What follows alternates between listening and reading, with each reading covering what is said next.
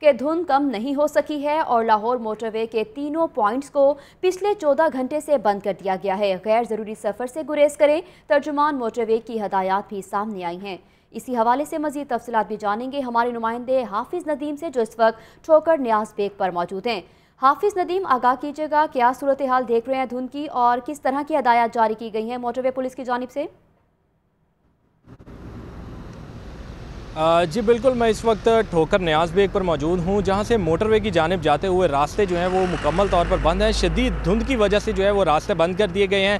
ترجمان موٹر وے کی جانب سے بھی یہی کہنا ہے کہ شہری جو ہیں وہ جو گاڑیوں کی فوگ لائٹس ہیں، ان کو زیادہ سے زیادہ جو ہے وہ استعمال کریں، جبکہ ان کی جانب سے یہ بھی کہنا ہے کہ غیر ضروری گھروں سے باہر نہ نکلیں۔ لیکن ابھی ابھی جو ہے وہ ٹھوکر سے بابو صابو تک جو ہے وہ سٹی میں انٹری کے لیے جو ہے وہ راستہ کھول دیا گیا ہے۔ البتہ میرا کیمرہ مین بابر ریاض ابھی آپ کو یہاں کے مناظر دکھا سکتا ہے کہ یہ جو راستہ کھلا ہے، یہ ابھی ابھی یہاں سے کھل چکا ہے۔ شہری جو ہیں وہ یہاں سے بابو صابو تک جا ایزیلی جو ہیں وہ جا سکتے ہیں کیونکہ اس کے آگے جو ہے وہ راستہ بند کر دیا گیا ہے۔ اور یہ راستہ صرف اس لیے کھولا ہے کیونکہ اتنے ایریے میں جو ہے وہ فوگ جو ہے، جو دھند ہے، اس کی شدت میں تھوڑی سی کمی ضرور ہوئی ہے۔ لیکن آگے جو ہے وہ فوگ بہت زیادہ ہے، جس کی وجہ سے آگے راستہ جو ہے وہ مکمل طور پر بند کر دیا گیا ہے۔ مکمل طور پر اگر موٹر وے کی بات کی جائے تو جو ترجمان موٹر وے ہیں، جو ان کی جانب سے یہی کہا جا رہا ہے کہ ہو سکتا ہے، اگر دھند بارہ بجے تک کم ہوئی تو موٹر وے کو کھول دیا جائے گا۔ یہ ابھی فائنل ڈیسیجن نہیں ہے، لیکن صرف یہی کہا جا رہا ہے کہ ساڑھے گیارہ سے بارہ بجے تک اگر دھند کی شدت میں کمی دیکھنے میں آتی ہے تو موٹر وے کھول دی جائے گی۔ البتہ تب تک جو ہے وہ